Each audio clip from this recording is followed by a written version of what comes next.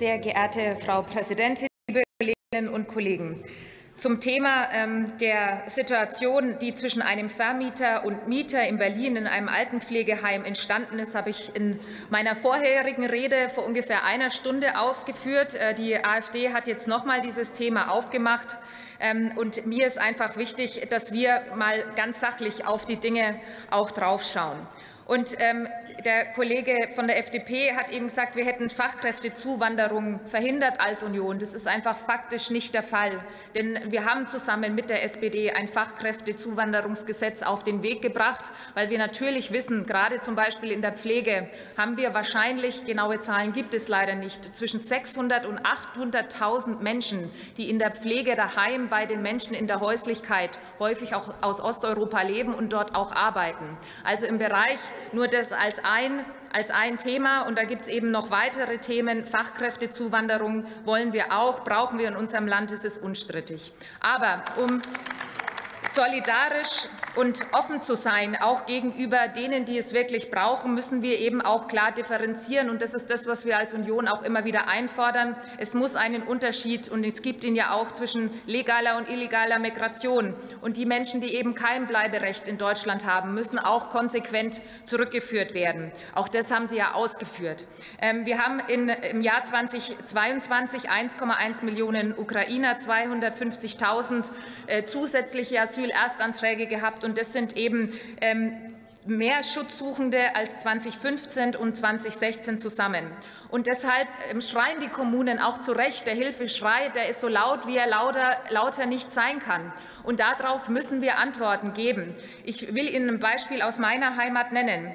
Ähm, wir haben die Situation, dass es Aufnahmeeinrichtungen gibt. Bei uns in Oberfranken ist diese Aufnahmeeinrichtung äh, in der Stadt Bamberg.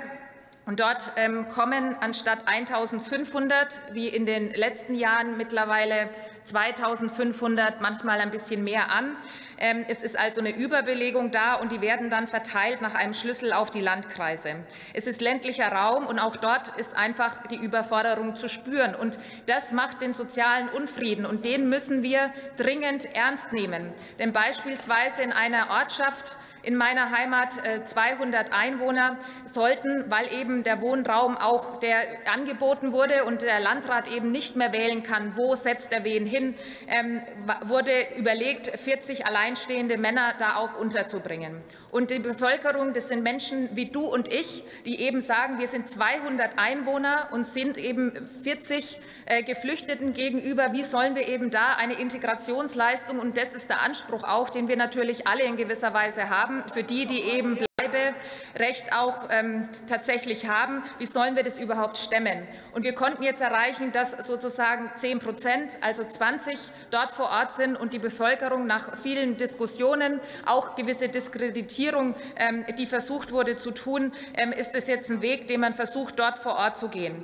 Aber, und das ist jetzt die Aufgabe eben für die Zukunft, wir erleben ja in der jetzigen Zeit, dass wir keinen Rückgang haben. Es wird weiter bestritten, dass es Pull-Faktoren gibt.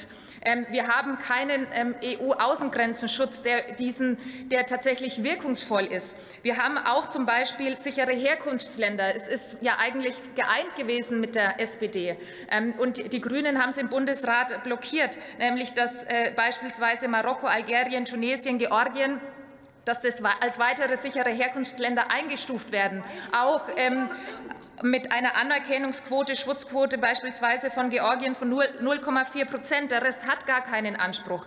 Das muss dringend im Verfahren weiter ähm, betrieben werden, auf den Weg gegeben werden. Denn es bleibt dabei, wir müssen natürlich ordnen und steuern. Wir müssen, um Integration auch möglich zu machen, die leisten ja nicht nur Sie und ich hier allein als Person ähm, oder die Geflüchteten, sondern die müssen von Kindergärtnerinnen bzw. Erzieherinnen, von, von Lehrern, von Ärzten entsprechend das muss alles vorhanden sein, diese Infrastruktur. Das muss noch möglich sein, das muss noch schaffbar sein.